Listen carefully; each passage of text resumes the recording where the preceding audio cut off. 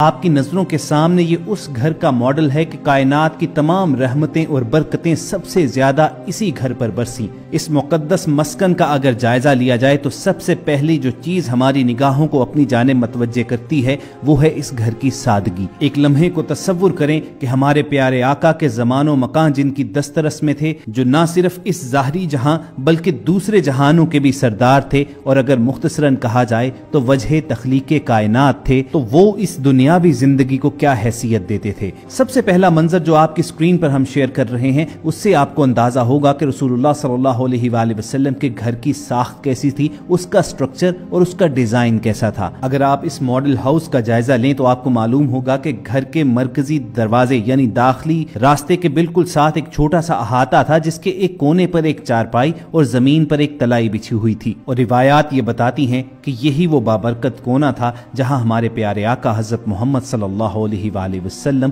واپس آنے کے بعد استراحت فرمایا کرتے تھے یعنی آرام کرتے تھے۔ اسی احاطے کے دوسرے کونے پر کھانا پکانے کے برتن وغیرہ اور آٹا پیسنے کے آلات وغیرہ پڑے ہوتے تھے۔ اور اس کے کونے پر پانی کا ایک کچا گھڑا پڑا ہوتا تھا، جس میں آپ کے غلام بیر غرس، بیر سقیہ اور مالک بن نظر کے کنویں سے آپ کے لیے ٹھنڈا میٹھا پانی لایا کرتے اور ان گھڑوں میں بھر دیتے۔ اور جب آپ صلی اللہ علیہ وآلہ وسلم کے لیے گھر میں پانی لایا جاتا تو اس کے بعد ایک مشکیزے میں ڈال کر اسے مزید ٹھنڈا کیا جاتا۔ گھر کے مرکزی داخلی دروازے کے ساتھ یہ جو احاطہ موجود ہے، آپ نے ایک چارپائی اور تلائی نما بستر بچھے ہوئے دیکھا تھا۔ اسی کونے میں بھی ایک آپ کو چمڑے کی بنی مشک بھی نظر آئے گی۔ یہی وہ مشک ہے کہ جس میں رسول اللہ صلی اللہ علیہ وآلہ وسلم کے پینے کا پانی رکھا جاتا تھا۔ اور خواتین حضرات، اب بڑھتے ہیں۔ گھر کے اندرونی حصے کی جانب آپ کو احاطے میں ایک داخلی دروازہ بھی نظر آ رہا ہوگا۔ یہی وہ راستہ ہے کہ جس کے ذریعے رسول اللہ صلی اللہ علیہ وآلہ وسلم اپنے گھر کے اندرونی حصے کی جانب آیا جایا کرتے تھے۔ دوستو، اب اپنی سکرینز پر جو آپ منظر دیکھ رہے ہیں، یہ کاشانہ نبوت کا اندرونی نظارہ ہے۔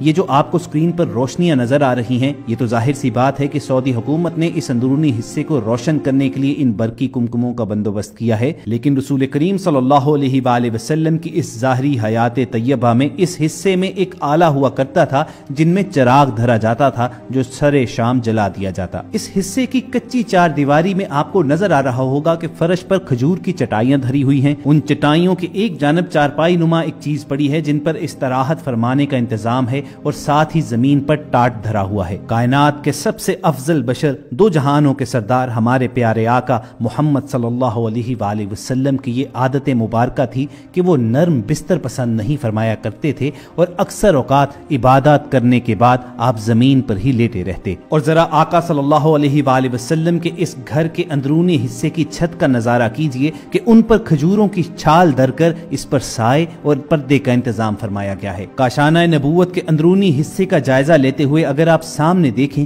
تو آپ کو دیوار کے ساتھ کھجور کی کچھ خشک شاخیں پڑی ہوئی نظر آئیں گی۔ اس کے ساتھ ہی اناج سٹور کرنے کا ایک چھوٹا سا برتن، اس کے ساتھ رسول پاک صلی اللہ علیہ وآلہ وسلم کا اس زمانے میں اسا دھرا ہوتا تھا اور اس کے ساتھ ہی زمین پر وہ برتن پڑے ہیں، جن پہ رسول اللہ صلی اللہ علیہ وآلہ وسلم اور ازواج متحرات کھانا تناول فرمایا کرتے تھے۔ آپ صلی اللہ علیہ وآلہ وسلم کھانے میں انتہائی محتاط طریقہ اختیار کیا کرتے تھے۔ حضرت عبداللہ ابن عباس رضی اللہ تعالیٰ عنہ آپ صلی اللہ علیہ وآلہ وسلم کے توام کی کیفیت کا تذکرہ اس طرح فرماتے کہ عموماً آپ جو کی روٹی اور سر کا استعمال کیا کرتے۔ آپ صلی اللہ علیہ وآلہ وسلم یہ دعا بھی فرماتے تھے، اے اللہ، آل محمد کے رزق کو بقدر زیست بنا یعنی زندگی میں جتنا رزق درکار ہے، بس اتنا ہی عطا فرما۔ اسی طرح جب آپ صلی اللہ علیہ وآلہ وسلم کے لیے پہاڑوں کو سونا بنانے کی پیشکش کی گئی، تو آپ صلی اللہ علیہ وآلہ وسلم نے فرمایا، اے میرے رب، میں تو یہ پسند کرتا ہوں کہ ایک دن پیٹ بھر کر کھاؤں اور ایک دن بھوکا رہوں، تاکہ جب تیرا کھاؤں تو تیرا شکر ادا کروں، اور جب بھوکا رہوں تو آپ کی جانب گریا و زاری میں لگا رہوں۔ آپ نے زہد و قناعت کا درس دیا، اس راہ میں آپ صلی اللہ علیہ وآلہ وسلم کا اپنا طرز عمل کیا تھا۔ عرب کے ہر گوشے سے دولت کے خزانے لدے چلے آتے تھے، مگر شہنشاہ عرب و عجم رسول اللہ صلی اللہ علیہ وآلہ وسلم کے کاشانہ نبوت میں وہی فقر و فاقہ ہوتا تھا۔ آ، حضرت صلی اللہ علیہ وآلہ وسلم کے پردہ فرمانے کے بعد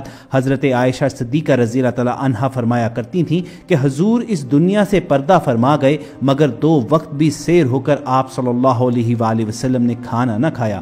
آپ رضی اللہ عنہ بیان کرتی ہیں کہ جب آپ صلی اللہ علیہ وآلہ وسلم کا وصال انتقال ہوا تو گھر میں اس دن کے کھانے کے لیے تھوڑے سے جو کے سوا کچھ موجود نہ تھا اور چند سیر جو کے بدلے آپ صلی اللہ علیہ وآلہ وسلم کی زرہ ایک یہودی کے ہاں رہن رکھی گئی تھی۔ تو خواتین و حضرات، یہ تو تھا ہمارے پیارے آقا حضرت محمد صلی اللہ علیہ وآلہ وسلم کے توام کا عالم۔ آپ اپنی سکرین پر رسول اللہ صلی اللہ علیہ وآلہ وسلم کے اس ماڈل ہاؤس کے اندرونی حصے کا نظارہ کر چکے ہیں۔ آپ نے بستر دیکھا کہ کتنا سادہ بچھونا تھا۔ رسول اللہ صلی اللہ علیہ وآلہ وسلم کے بچھونے کی کیفیت بیان کرتے ہوئے حضرت ابن مسعود رضی اللہ تعالیٰ عنہ کہتے ہیں کہ ایک دفعہ آپ صلی اللہ علیہ وآلہ وسلم نے ایسی چٹائی پر آرام کیا جس سے آپ کے جسم مبارک پر کچھ نشانات پڑ گئے۔ ابن مسعود سے رہا نہ گیا، وہ بول پڑے کہ اگر آپ صلی اللہ علیہ وآلہ وسلم اجازت دیں تو میں نرم چٹائی بچھا دوں۔ تو آپ صلی اللہ علیہ وآلہ وسلم نے فرمایا، میرے لیے دنیا کی کیا ضرورت؟ میری اور دنیا کی مثال اس مسافر کی طرح ہے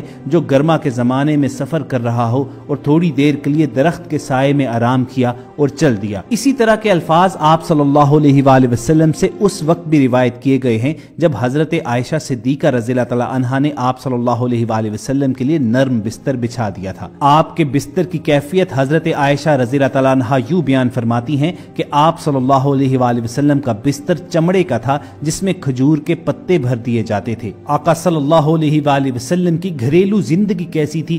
گھر کی چار دیواری کے اندر آپ کے ماں معمولات کیا تھے اور دینی اور دنیاوی معاملات میں آپ نے کیسے توازن قائم کیا، اس کے متعلق بہت سی احادیث روایت ہوئی ہیں۔ انہی میں سے ایک روایت ہے کہ بعض صحابہ آپس میں گفتگو کر رہے تھے کہ رسول اللہ صلی اللہ علیہ وآلہ وسلم کی گھر سے باہر کی زندگی تو ہمارے سامنے ہے، لیکن گھر کی چار دیواری کے اندر رسول اللہ صلی اللہ علیہ وآلہ وسلم کے معمولات ہمارے علم میں نہیں ہیں۔ چنانچہ ہمیں اس کے متعلق معلوم کرنا چاہیے، پھر اپنے گھروں میں اس کی پیروی کرنی چاہیے۔ اب رسول اللہ صلی اللہ علیہ وآلہ وسلم کے گھر کے اندر کی زندگی تو ازواج متحرات ہی جانتی تھی، اسی لیے وہی اس کے متعلق بہتر رہنمائی کر سکتی تھی۔